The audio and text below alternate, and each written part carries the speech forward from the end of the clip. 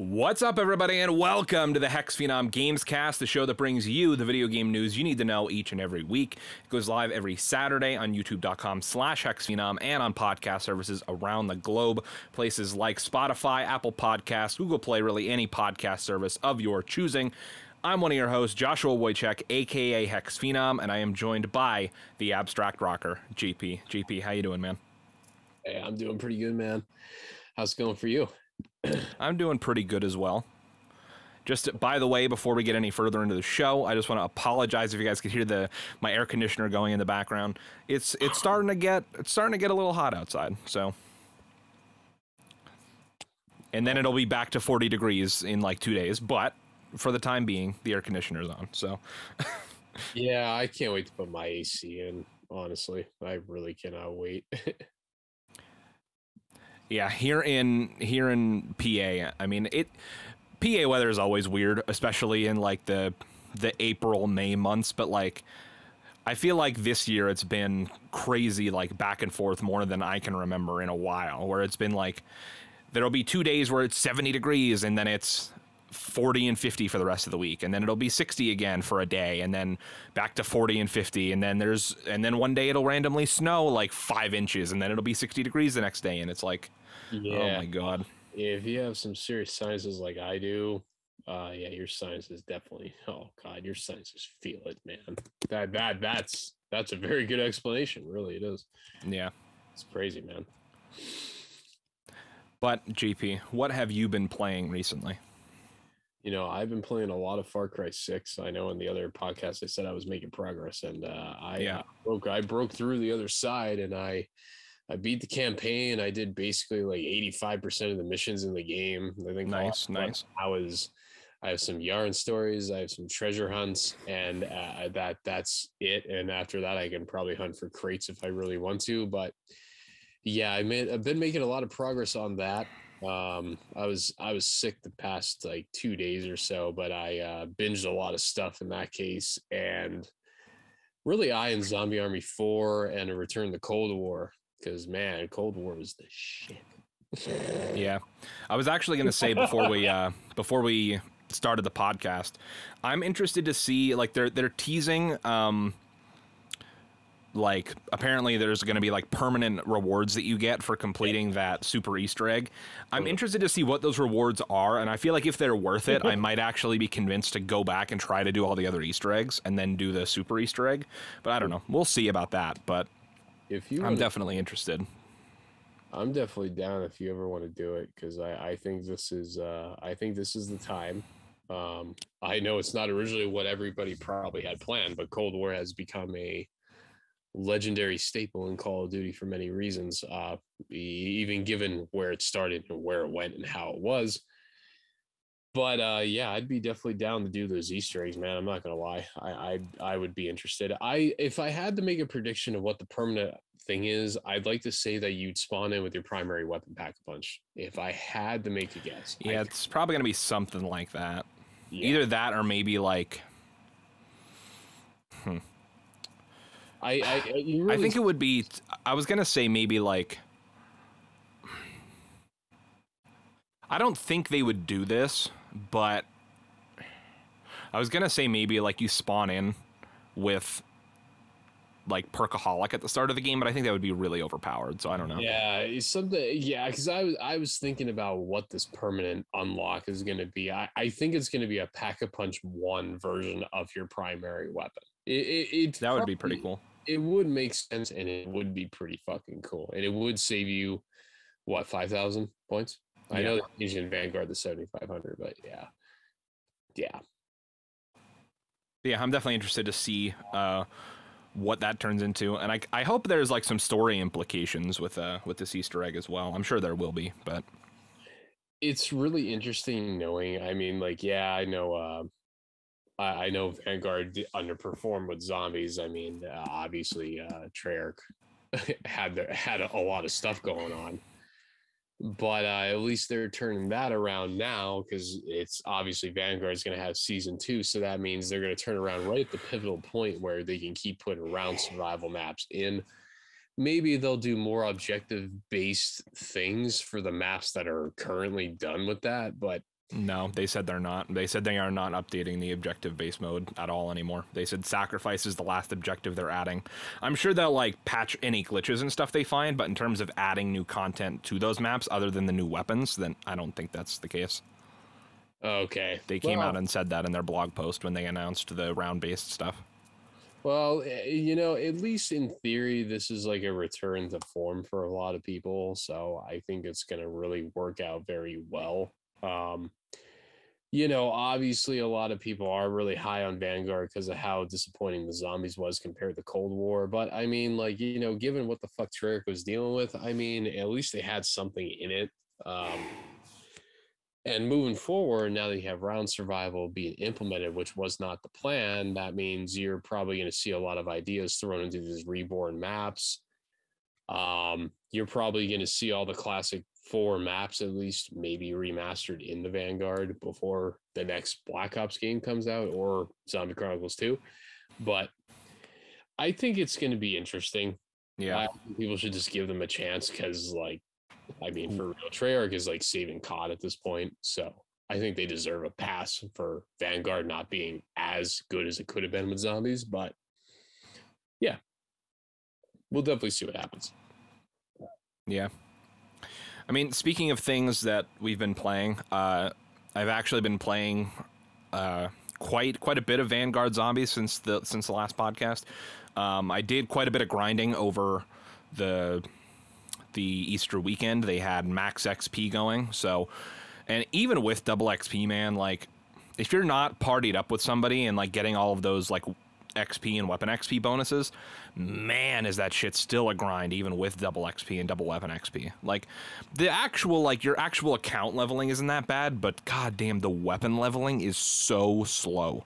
Like if I had to guess, I probably put in a solid like I don't know how many hours I played over the weekend, but pretty much any time I had free time, um. Mm. I was playing Vanguard Zombies over the weekend until they turned off the XP on Monday morning. So, and in that entire weekend, I was able to level up two guns to max rank, and one of them I already started at level like 50. Yeah. I- So I got from 50 to 70 on one gun, and from level like 10 to 70 on another one, and that was it. Yeah, I got a. I think the. I think the recent gun I've been working on is Ammo Grand. I think. I think. Uh, but regardless, it is at rank. I think forty-five.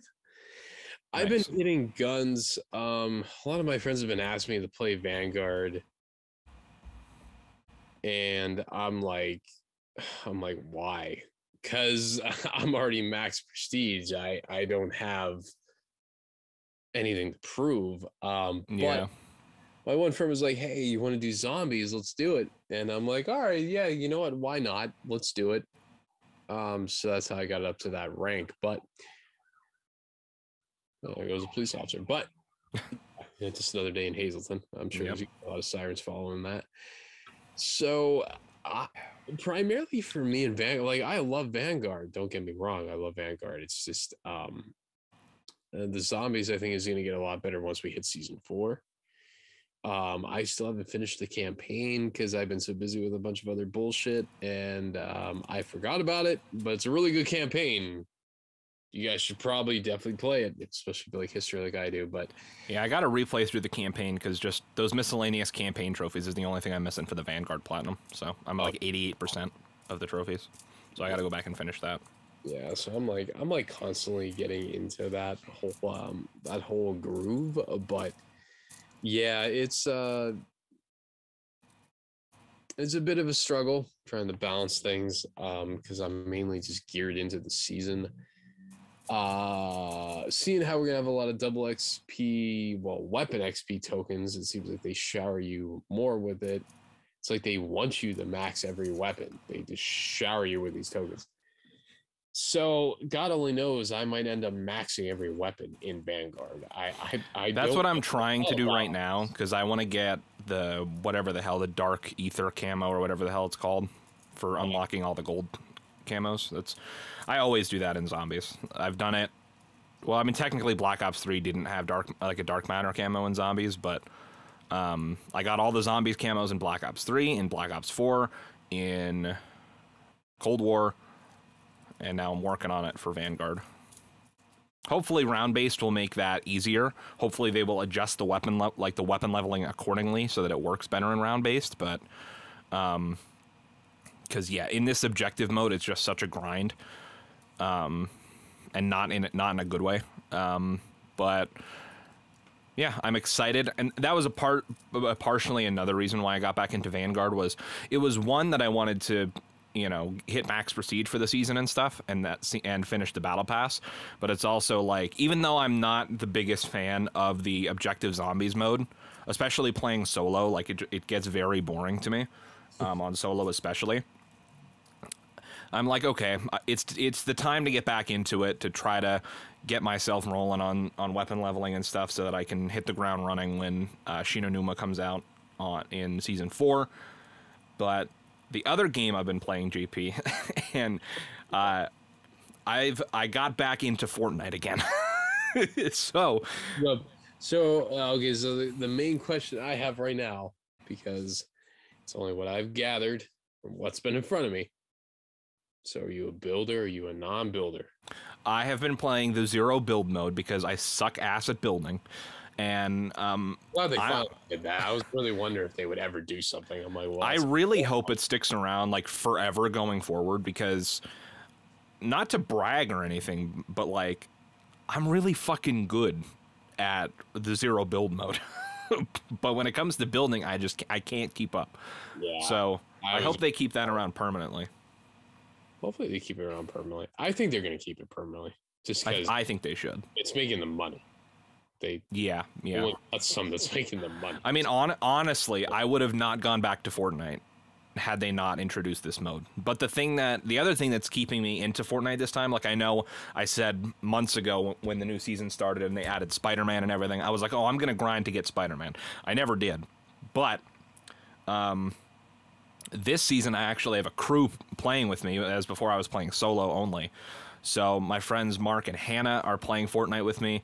We we've been playing the last like three nights together, and we've caught we've caught a couple of a couple of wins. JP, like I think I'm up to like seven or eight wins so far this season, and literally we literally have only been playing for like three days. So I was wondering actually what happened to Hannah because the last time I was playing with her was uh was Cold War.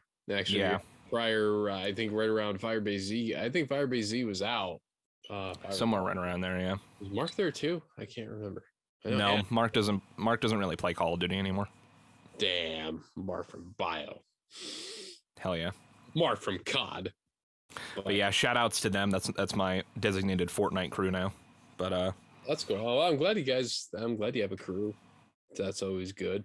And uh yeah, I mean, I, I despise battle royale and everything it stands for, but that's cool. at least, hey, at least you're happy with it. you Yeah. know? that's all it's about. I usually hate battle uh, battle royale games too, but I don't know. Fortnite, Fortnite, it it, the, it bit me. So we'll see how long I stick with it. Um, I think again having people to play with is going to make me stick with it a lot longer than I did last season. So we'll see. But yeah, I bought the battle pass. There's another Marvel skin at the end. It's not as cool as Spider-Man. Like Spider-Man's my personal all-time favorite superhero, but the Marvel skin at the end of this season's battle pass is Doctor Strange because the new movie coming out. So Oh yeah, oh yeah, you're fucking right. My friends were talking about that the other day, and I was sitting there like, what? but yeah, there's Doctor Strange. yeah, that's I think that's next week already. Next Thursday? No, not yeah, yeah. So not this coming Thursday, but the Thursday after. I'm excited for that. But JP, let's get into the news for this week. There are let's see, seven news stories, and we're gonna start off with the what I deem is the biggest one, and that is somehow Amy Hennig has returned to Star Wars. This is by Michael McWhirter over at Polygon. Lucasfilm Games and Skydance New Media announced new cinematic action adventure game in the Star Wars universe. A new Star Wars game is in development at Skydance New Media, the interactive studio founded in 2019 by game director Amy Hennig. Lucasfilm Games and Skydance, Skydance announced on Tuesday. It's a return to the Star Wars franchise for Hennig, who had previously worked with the with the franchise at EA's Visceral Games on an ambitious but untimely canceled project set in a galaxy far, far away. Skydance New Media describes its untitled Star Wars project as, quote, richly cinematic action adventure game featuring an original story, end quote, but did not reveal specifics. No title, no release date, or platforms were announced. Quote, I've often described how seeing Star Wars in 1977 essentially rewired my 12 year old brain, shaping my creative life and future indelibly. End quote, Hennig said in a news release. Quote, I'm elated to be working with Lucasfilm Games again to tell the interactive stories in this galaxy that I love, end quote. Hennig co founded Skydance New Media, a division of the production company best known for its work in film and television, with Julian Beak, a veteran of EA whose credits include Battlefield Hardline, Need for Speed, and Visceral Star Wars game.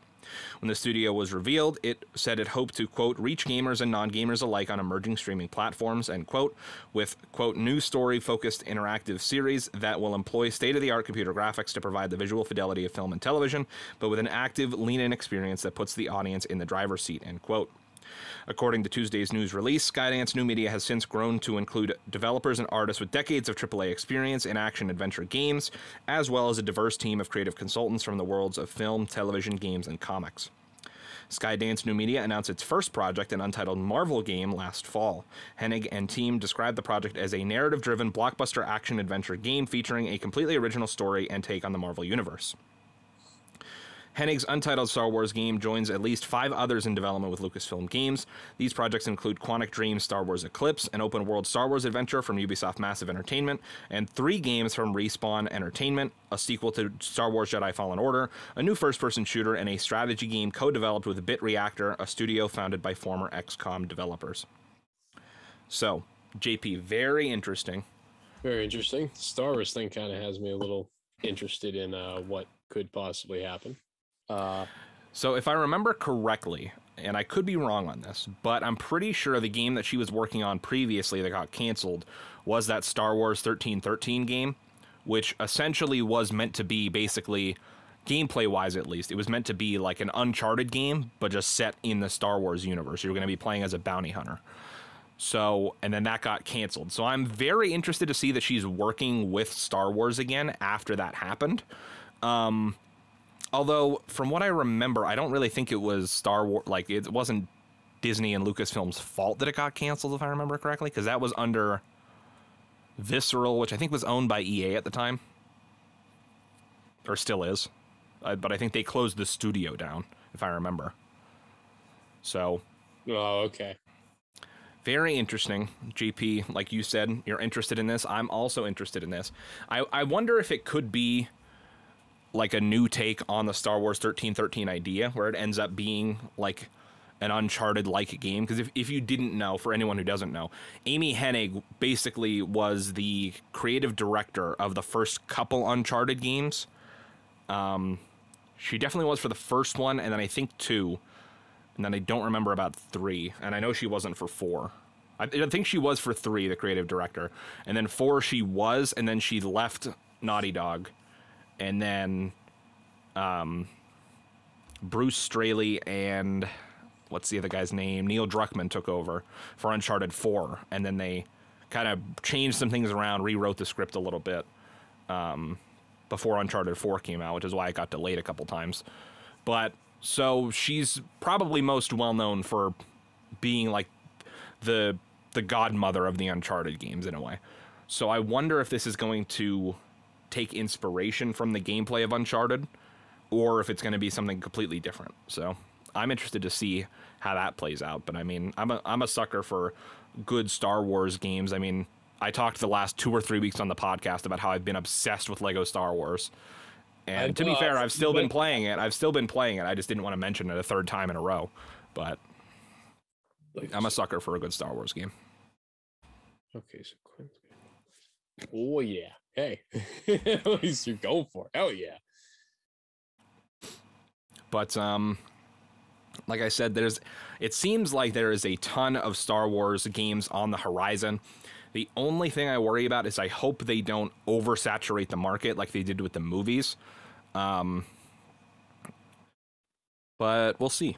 I know there's, I mean, on top of all the stuff that we mentioned already, there's also the Knights of the Old Republic rem- remake that's coming out at some point. So definitely a lot of different things for Star Wars fans to enjoy.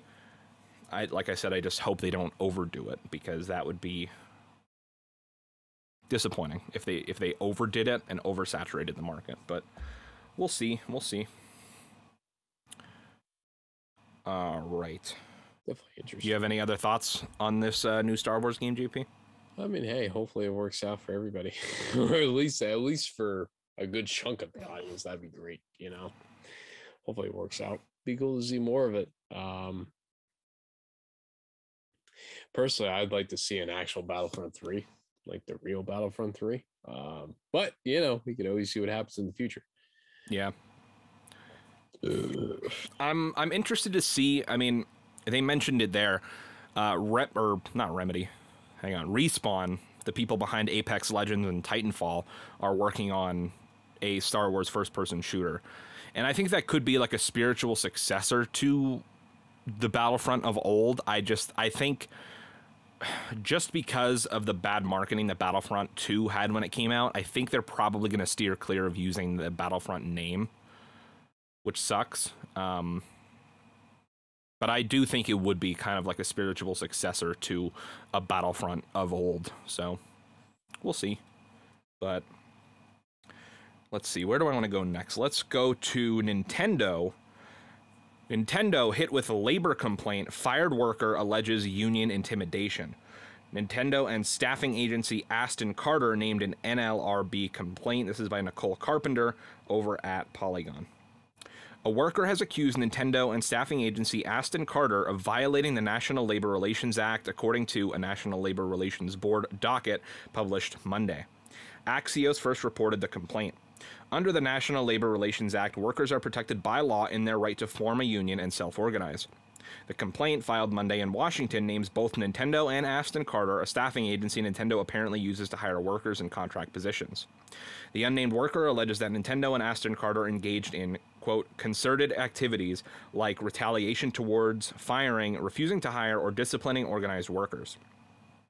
Coercive actions like surveillance of those workers and coercive statements such as threats or promises of benefits, the National Labor Relations Act of 1935 is meant to protect workers from unfair labor practices related to the organization efforts.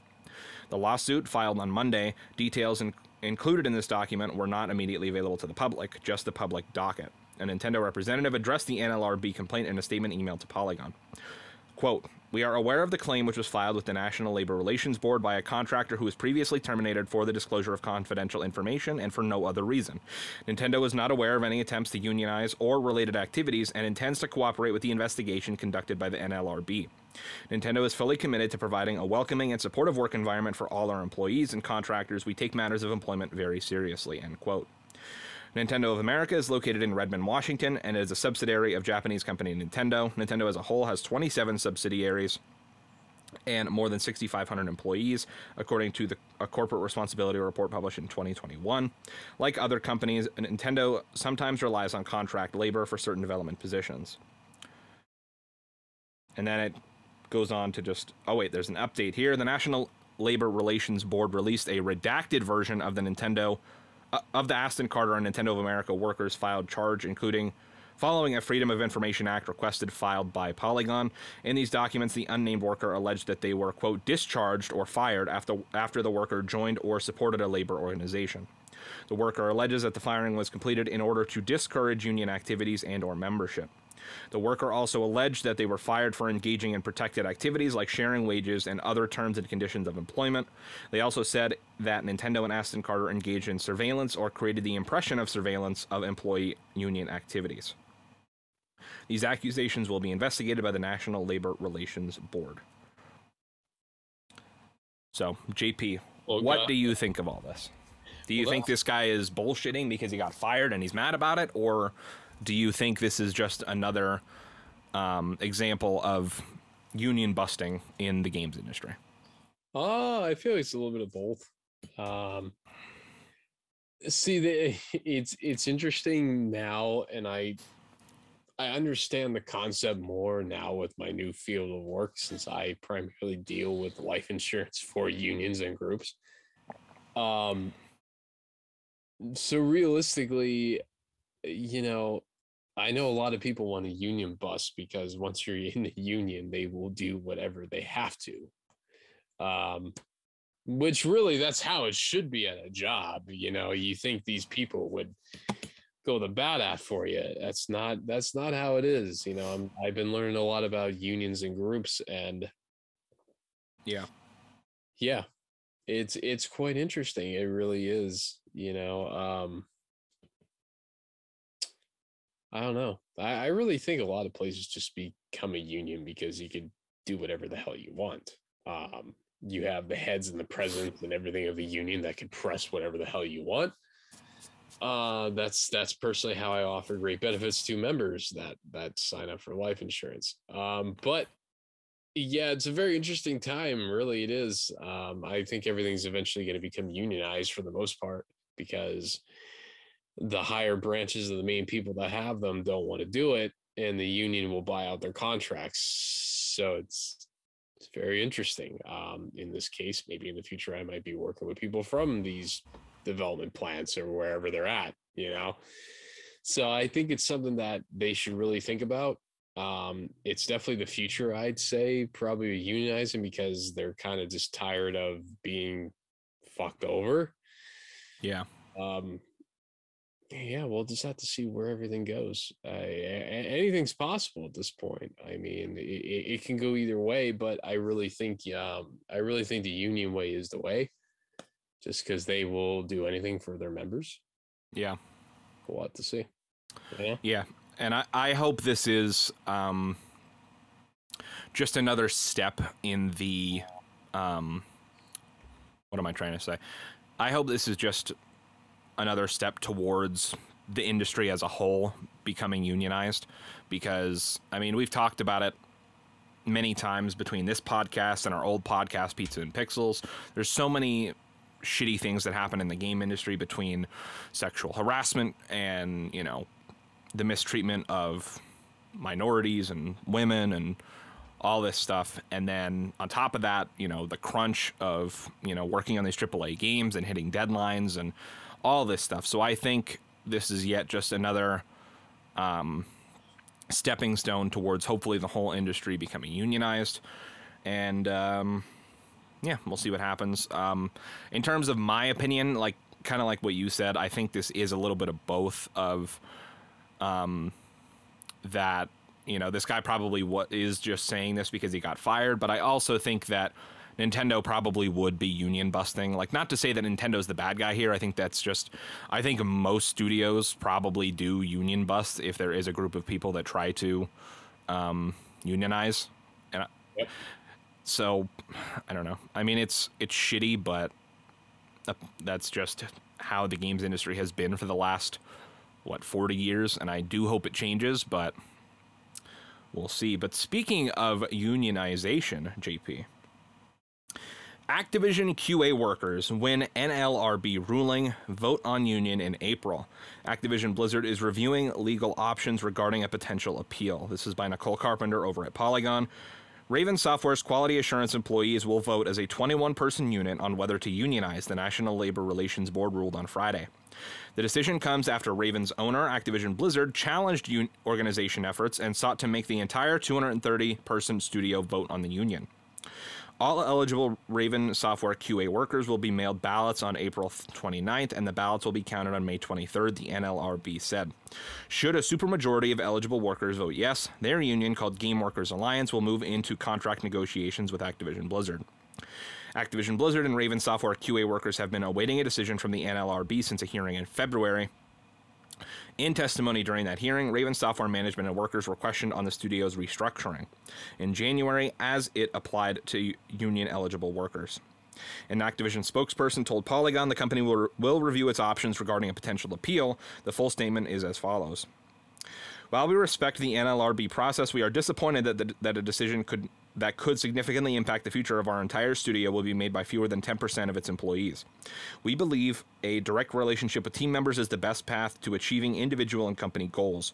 We are reviewing legal options regarding a potential appeal. On social media, Raven Software QA workers expressed excitement over the OK to vote. The group thanked supporters in a Twitter message. Quote, We are so proud to announce that the NLRB ruled that our unit is eligible for election, the group wrote.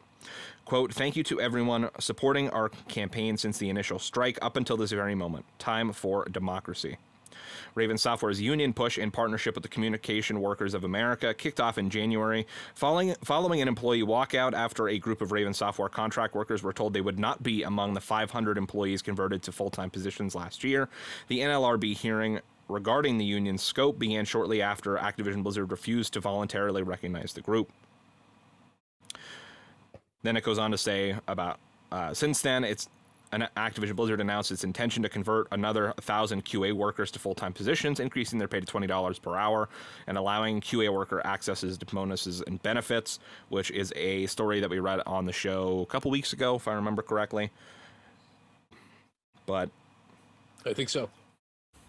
JP, both good news and some bad news, I guess. Uh, good news, obviously, that the the National Labor Relations Board is saying that this group is a okay to go ahead and vote on union unionization for themselves. This group of QA workers, and of course, the bad news in the fact that Activision is still trying to bust this union by looking for a, a court appeal to try to take this back to court.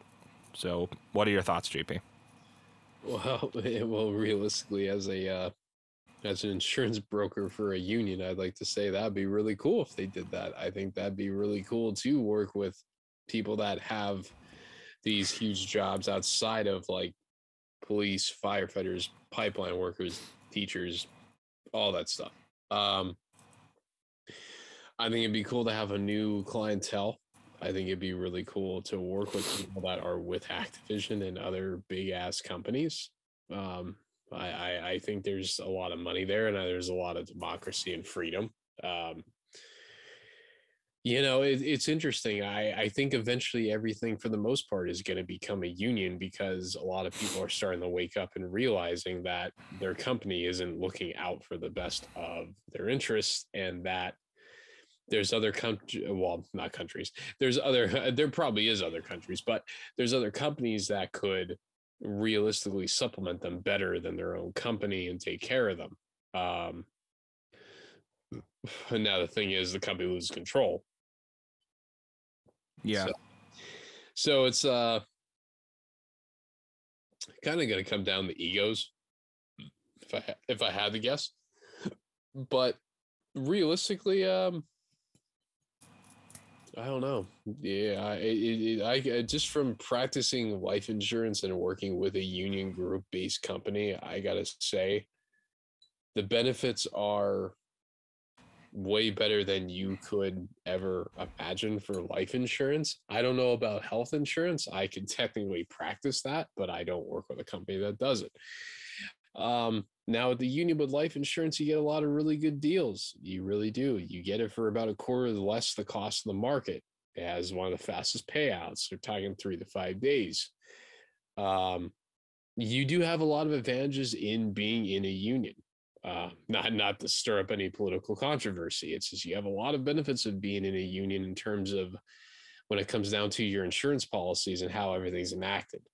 Now, um, the companies are losing control. I'm sure it's going to come down to uh, one hell of a battle for them to to maintain it. But you know, if you have people that agree to a union, you can't stop them. That's just like Amazon in New York City.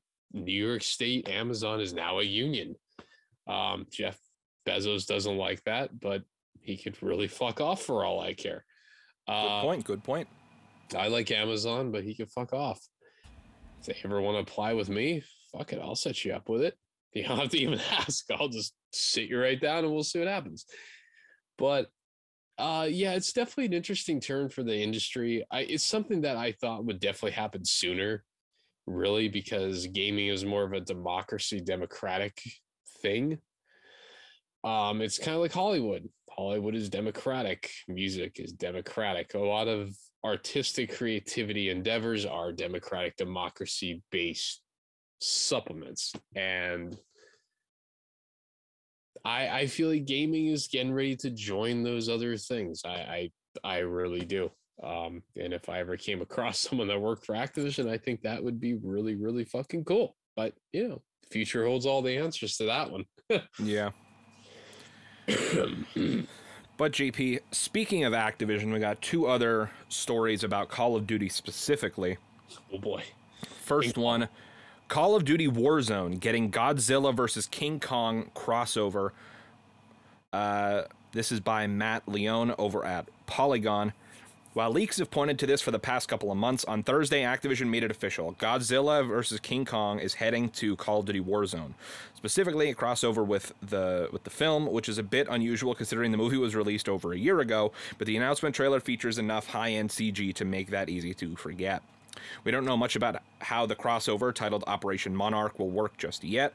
The trailer shows the two beasts fighting against one another, which suggests that we may see a similar storyline to the movie, rather than a free for all that just happens to feature the characters. In a world overrun by Fortnite and Minecraft, crossovers might not be what they once were, but given Activision's tendency to stray from Call of Duty's grounded roots, it seems like there's a lot of potential for something that feels as much like the movie as it does the game. According to the trailer, the battle begins on May 11th. So, again, short snippet. We don't really know much about it, but they have shown off images of some of the um, skins you'll be able to buy in relation to the pack. The one thing I do find interesting, and I, I kind of understand why they're marketing it this way, but everything I've heard about it makes it seem like this is Warzone only, and that it has nothing to do with Vanguard. So I'm not sure if you'll actually be able to use any of these skins in Vanguard, which is uh, interesting. The skins that you use in Vanguard, everything else you can't. Uh, apparently, they were talking about it. Uh, the skins are in Vanguard. The rest of the whole Operation Monarch is in Warzone. Um, I will admit, from seeing the trailer, I thought it was really entertaining. Um, it was something that I never thought I'd see COD doing, but you know when you're in an era where you got to make branding deals you know that's that's how it goes. Um that's why i think you're going to see more branding deals from vanguard and cod um that's yeah. why i think probably probably in october for halloween i think you will see michael myers. Um i think you will probably see jigsaw. It really just depends uh there's a lot of things that they can do but eh, they have options. Um it's not that they don't. The the whole the whole Godzilla King Kong thing is absolutely incredible. Um, I don't really even know how to go about it because you know you're talking King Kong of all people with Godzilla in Call of Duty. It just seems like something you never thought you'd see, but yeah, here we are. Um, so it's kind of like Captain America and Indiana Jones in July. Probably gonna have some kind of American Frontier update. I had they guess because yeah, they're American heroes, but or American heroes. Maybe that'll be the fucking name. Who the fuck knows? But yeah, so the Call of Duty, you could definitely tell Call of Duty anymore is what in insurance we call an investment vehicle. Because you are taking your assets and your investments and you're putting it into one thing to then get something out of it down the line. Um, so I feel like they are now an investment vehicle. It's kind of strange knowing how my professions are now intertwined. It's kind of strange. Yeah. But yeah, so let's see what happens. Um, so what what did you think of the of the whole? Did you see the trailer with Godzilla and King Kong? I did. Yes. Uh, it looks really cool. I mean, not to reiterate what you said, but like I also agree with the sentiment that it is cool to see like Call of Duty. I feel like it up until pretty recently. I mean, not always, but I feel like sometimes it definitely took itself too seriously. There was like cracks in that foundation every now and then, but for the most part, I feel like it really took itself too seriously sometimes. And I, I like that we're trying that we're that we're realizing, hey, it's a video game. Like we're starting to lax that a little bit. Um, the idea sounds cool. I mean, I don't play Warzone, so unfortunately, like I'm sure I'll see like stories from it and videos from it, but I'm probably not going to play it. Um, uh, yeah, same way. I'm not going to play it exactly. Um, I kind of wish they would. I mean, they still do this, but kind of like Krampus, it'd be cool if they put them in modes in Vanguard. Oh yeah. I don't know if they're going to do that though, because I know the Krampus thing really pissed a lot of people off. But it was pretty cool being hunted by Krampus. I mean, we can't all deny that. That was something really, really crazy that I never thought I experienced in a video game. And to see him next to me and fuck me up and throw me across the map, I was like, wow, that was something. But King Kong or Godzilla, I mean, I think they're going to have something in the game that is going to put them into the maps. Um, it would be cool if like I think they're gonna like actually scale them up and make them huge, but like it would be cool if in some of the maps you could just like see them off in the distance fighting or some shit. Like even just a small detail like that on Vanguard. But what I I I'm interested to see how they handle it in Warzone. I think it would be kind of cool if it was like similar to Origins, where like they're just fucking walking around the map and sometimes you could just get fucking stomped on out of nowhere and shit. So like you would really have to watch where you're like where you're stepping and watch where you're dropping watch for the big footprints and stuff. I think that'd be kind of cool.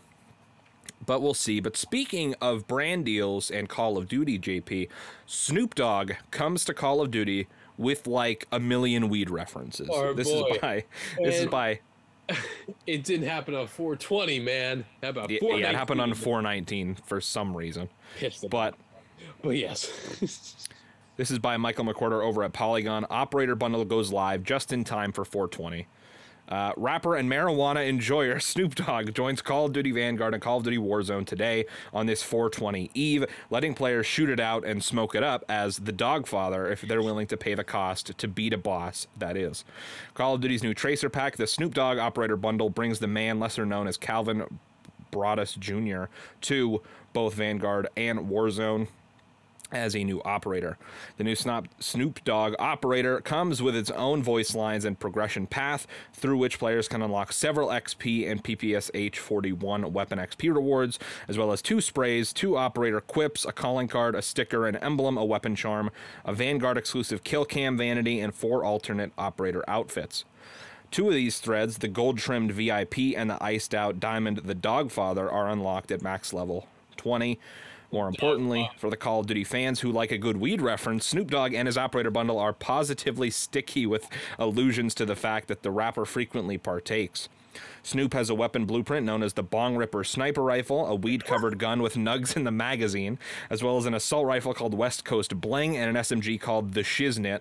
Every weapon comes with green weed tracer rounds, and their muzzle flashes even look like a green pot leaf. Snoop's spray, charm, and emblem are similar pot leaf uh, referential. Plus, he's hitting and sharing a blunt in his highlight intro, MVP highlight, and f- finish izzle move izzle finishing move. Absolutely nothing is safe from weed references when Snoop's in the house. Then it says the Snoop Dogg Operator Bundle will set players back 2,400 COD points, which costs 19.99 in real life money. So JP, have you have you seen this in game yet? I know you haven't been playing a ton of COD recently, but have you seen this in game yet?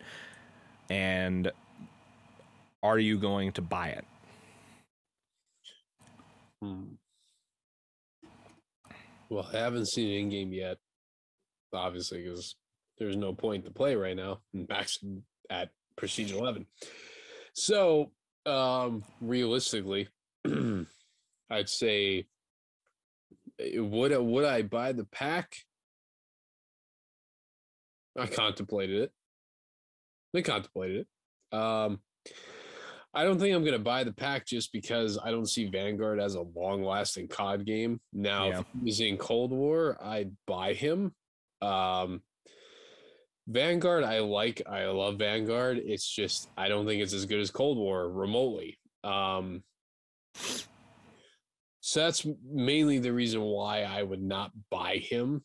Yeah. Could I afford it? Yeah. Do I want to buy him? No, because if I bought him, I don't think I'd be really using him that often. That's the worst part about it. Um, so I'm glad they did it with Snoop Dogg. Like Snoop Dogg's been fucking everywhere, commercials and all. So, um, terms of uh, in terms of his impact, I should say it's insurmountable. It's just I don't know if I really want to buy that pack. How about you? Um, I I did buy it. yeah, I mean, I had. Uh, good. I'm glad you bought it. Yeah, it's it's. I had I had some COD points on my account from grinding through the battle pass and everything, so I didn't actually have to spend any money on it. So I was like, ah, fuck it, whatever. But yeah, I've been I've been enjoying it. Um, he has some pretty funny voice lines in zombies. I haven't played multiplayer yet, so I don't know what yeah, they're like I there. was, but- I was curious about what his zombie lines would be. So so tell me, what is his zombie lines? Why what you what what are some good takeaways? Oh man. Um I don't remember exactly what he says, but I know he like comments on the taste of all the perks. Like I know he he's I remember him saying something about quick revive tasting like shit, something like that. Um fuck, I'm trying to think. I'm drawing a blank. But I know he'll be like ah, fuck, I don't remember exactly what the one line was, but he's like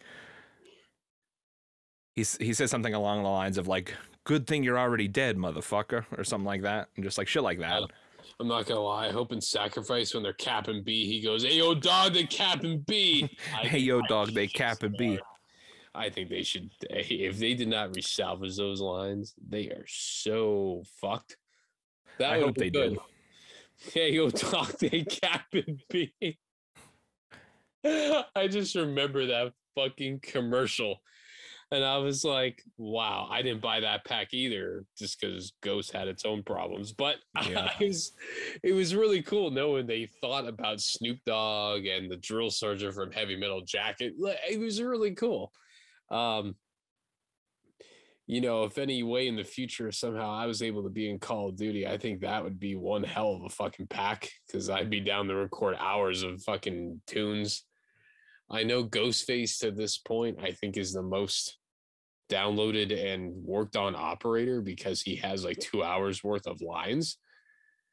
Um, but who knows? You know, that could change if Jigsaw comes in in October. I think Tobin Bell will be willing to sit down and do many hours of vocal lines. Obviously, Michael Myers wouldn't do a damn thing because he doesn't talk. But you know, it'd be cool. It'd be cool to see. But yeah. Um, I'm glad I'm glad Snoop Dogg's in Call of Duty. I really am. It brings it brings more impact to the product. It, brings PR. Um, obviously they're letting him do what he wants with the blunt smoking. Yeah. A lot of people somehow were offended when he was sitting there smoking a blunt. Um, and the only reason or question and answer I'd have, primarily an answer, would be it's 2022. Lay the fuck off. Like, yeah people are gonna smoke weed. Eh, It's it's fully legal in half the United States. It's gonna be legal probably within the next two or three years, fully in every state. So it's something that people should wake up on, um, and knowing that it's not going to harm people as much as alcohol. Um, I like to drink and I like to smoke. I'll be fully honest with you. I will admit it on this podcast, but if I had to really think where they're going with everything, I think it's realistically trying to help people and not stray them from the path, but rather help them out if they need something. You have Snoop Dogg, yeah, you have Snoop Dogg there. I mean, hell, even before the Snooper, uh, well, the, the Snooper Bowl, that would have been something if it was called the Snooper Bowl. But before, you know what? I think the NFL needs to do the Snooper Bowl. I think that'd be something you could have. that's a what they should have called the halftime show the snooper bowl you could have had the weed contest, people just huffing it. eh, That that would have been something. But you know, in terms of like marijuana being recognized as a rehabilitator, a medical distillery, a plant, yeah, I know opiates are a plant too, but you know, eh, you know, in the in the age that we're in, I think this is like the perfect collab. Um, the only thing that I'm waiting for is to see Snoop Dogg and Eminem in Grand Theft Auto, which I think is probably going to happen because they're tight with Dr. Dre. But time will tell. It's possible. It always is. Um, Yep. yeah, it's quite interesting. all right jp two more news stories up? this one is some finally some updates on what's happening with marvel's avengers and this one I know you're not big into Avengers, so I'll, I'll explain what's happening to you. And I just think it's very interesting. So, the headline reads Jane Foster, the mighty Thor, is coming to Marvel's Avengers. Give the Odinson a break. The new Thor Love and Thunder trailer isn't the only place you'll find Jane Foster rocking the power of Thor. In what's surely part of a massive promotional push, Jane Foster, the mighty Thor, will be the next playable hero in, to join the roster in Marvel's Avengers, the action RPG from Crystal Dynamics. The news comes via an April development update mostly focused on the forthcoming uh, 2.4 update for the game, which will overhaul the way Avengers handle, handles recurring in game events. However, in a final note looking forward to update 2.5, the developers mentioned the first few details about the addition of Jane Foster as Thor.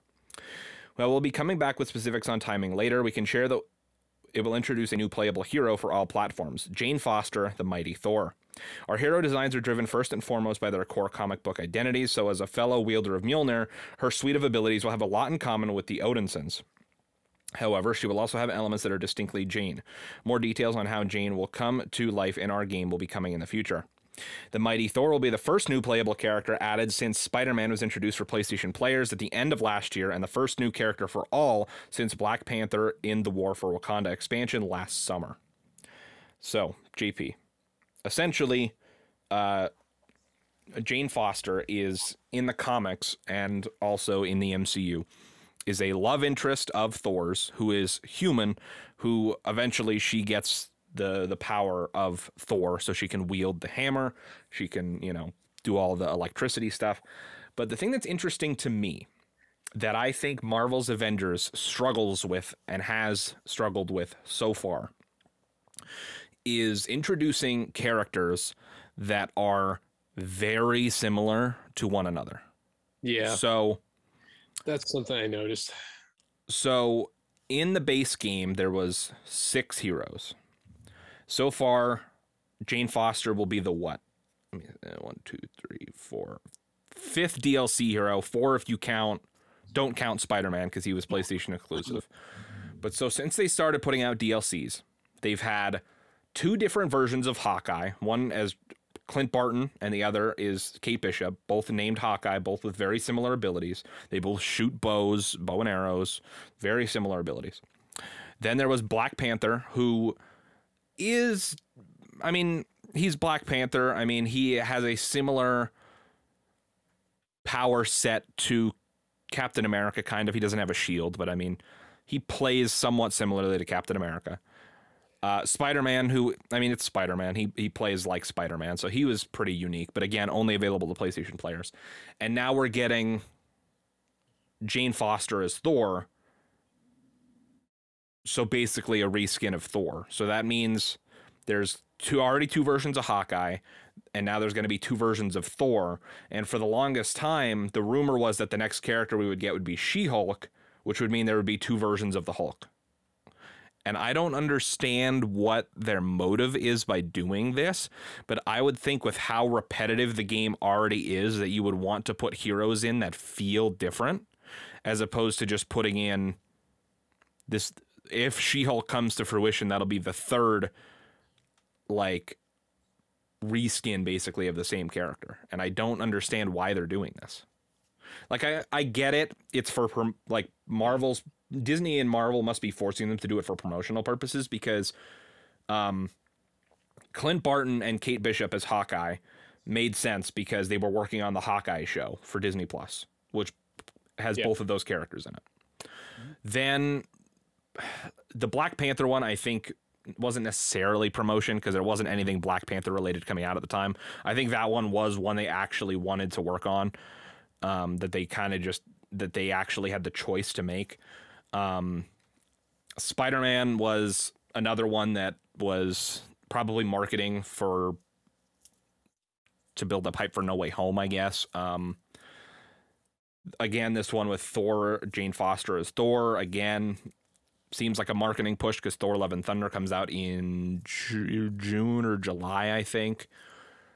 And then She Hulk. There's supposed to be a She Hulk show on Disney Plus coming at some point. So again, it seems like they're trying to use this game more for promotional purposes than for it to be an actual game, which does stink a little bit. Um, I do kind of wish that these developers would get the chance to make what they want because I feel like if they were able to make what they want, we wouldn't be getting so many reskins of similar characters. Yeah, exactly. Right. Because I feel like that definitely doesn't help this game situation. Like it almost feels like this game at this point is more of a what what, what was the thing you were you, what was the word you used an investment vehicle?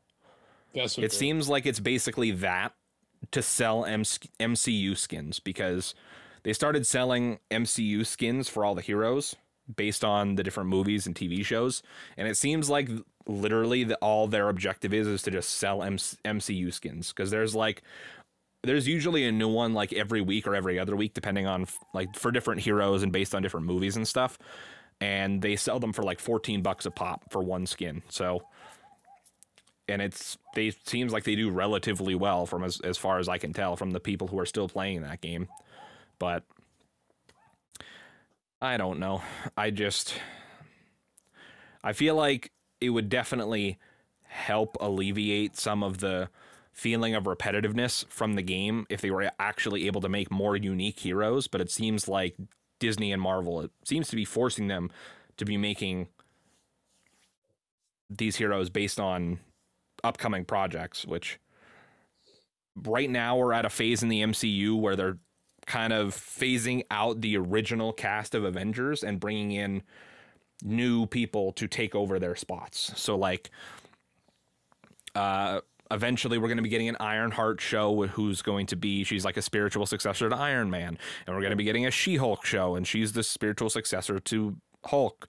Oh, and the She-Hulk show. Jane Oh, so Foster as the spiritual successor Yep. to Thor, and it just like kind of keeps going like that. So I I think um, we're probably gonna see more reskinned characters at some point in this game, unfortunately. But I'm honestly kind of surprised we didn't get like F- Falcon as Captain America or um, something like that yet. But I'm sure there will be once Captain America 4 comes out, whenever the hell that happens. But if the game is even still alive by then, which I personally don't think that it will be, but Yeah, I don't think it's gonna be lie by then, personally. But what they did, uh, this, this is the same game that was like, hey, delete your save, right? This is the Yep. same game. yep, same game, same game. Yeah, I just delete your save. Oh, good. They did fix that issue though, so Oh, they fixed it. Wow, that's great. I'm glad they fixed that after their uh, impromptu meeting. Hey, delete your save. hey, Ah, delete your delete your campaign save, and that's how you can play the game again. It's like okay, but JP, bonkers. we're going to get into what is now a weekly tradition that I will try to upkeep every week. We're into our meme news story now, and this one gave me a good chuckle. So, the Minecraft movie, JP, will reportedly star Jason Momoa. Hmm. Napoleon Dynamite's Jared Hess will direct. This is by Nicole Carpenter over at Polygon. Aquaman and Dune actor Jason Momoa will reportedly star in Warner Brothers' upcoming Minecraft movie, The Hollywood Reporter confirmed on Monday. Jared Hess, Napoleon Dynamite, has signed on as the new director. A Minecraft movie has been in the works since 2014. Some version of the movie was originally slated to premiere this year. It's a project that's changed hands multiple times. Hess is at least the fourth director attached to the film. Peter Sollett, The Path, Rob McElhenney, It's Always Sunny in Philadelphia, and Shawn Levy, Free Guy, were, were previously named in those roles. The Hollywood Reporter said Mary P- Mary Parent, Dune, and Roy Lee, Death Note will produce. Quote, with Jill Messick receiving a posthumous producing credit for developing the film before her death in 2018. In 2019, Minecraft developer Mojang said the movie will center on a teenage girl and her unlikely group of adventurers. After the malevolent Ender Dragon sets out on a path of destruction, they must save their beautifully blocky overworld. Steve Carell was reportedly tapped to star in 2016 too. Otherwise, the Minecraft movie remains a mystery. The popular block-based sandbox game was released in 2011 and has been wildly popular. In October, the game reportedly had more than 141 million monthly active users. Minecraft itself is simple and lets players build out their own stories, games, and worlds, all while taking on enemies that only come out at night. Polygon named it among the most influential games of the decade.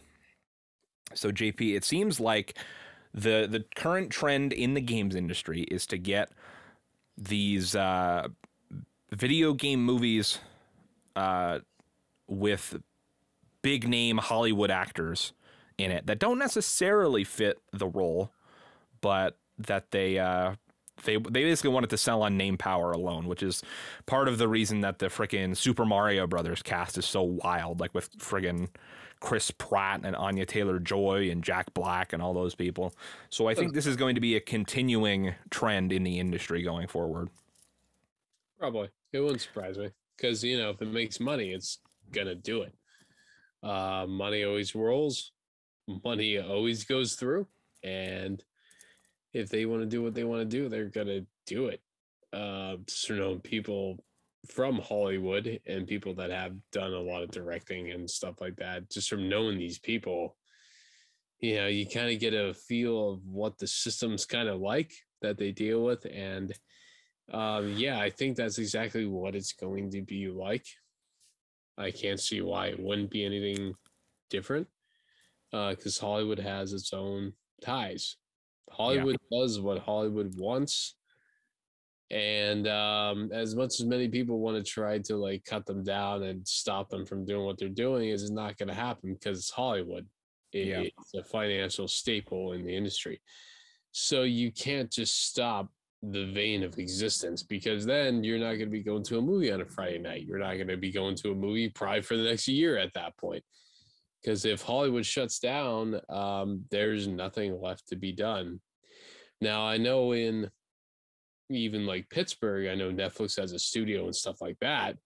But in terms of Hollywood, it's only in one spot of the United States, and it's the Western Hemisphere, and that is Hollywood, California. Um, yeah, and Los Angeles. So, yeah, it's very interesting. But eh, I mean, that's just usually how it rolls, unfortunately. Yeah, I mean, I will say, like, I don't think this is necessarily a bad thing because given like so if the people actually working on the movie are actually familiar with the source material, I think it could be actually really good. And I think the perfect example of that is the Sonic the Hedgehog movie, specifically Sonic 2, which I just saw a couple weeks ago and it was honestly really freaking good. Like just as a ch- children's movie, even if your child knows nothing about Sonic, I think it stands on its own very well. I think it's a great kids movie.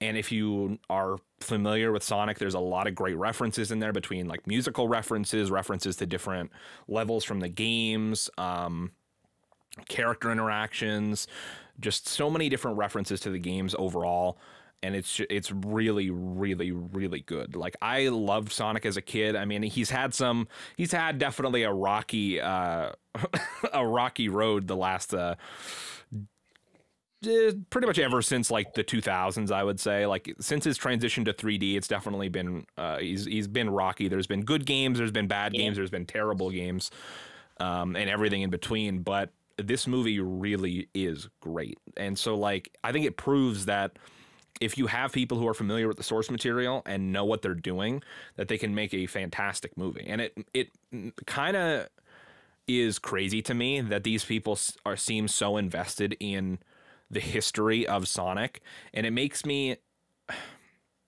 it makes me like scratch my head to think how they if you do you remember the the memed like Sonic movie design that came out before the first movie that they had to delay the movie to change? Yep. it makes it, it it's that. so crazy to me that how good these that. two movies are story wise and like reference wise to the games. And then that was the design they went with. Like it was like they were they literally reference the game so much, like it's so true to the games. But then they they, they had that design to start with for some reason. I don't understand how that happened, but I'm glad that they fixed it. And I mean, even like with all of the Hollywood actors in those movies, like Ben Schwartz as Sonic, Idris Elba as Knuckles, freaking Jim Carrey as Eggman, um, James Marsden and stuff. Like there's so many great actors in those movies and they honestly all do a great job. Like you would think that Idris Elba would want nothing to do with playing a furry fucking red animal and he f- fucking kills it. Like he is so good. Ben Schwartz is great as Sonic. Um, interestingly enough, I thought it was actually really cool. They got the voice actor from the video games to play Tails, which she fits in perfectly. like, are you serious? Yeah, it, it, it was really great. good. Like, I loved that movie. great, man. That, that, that's great.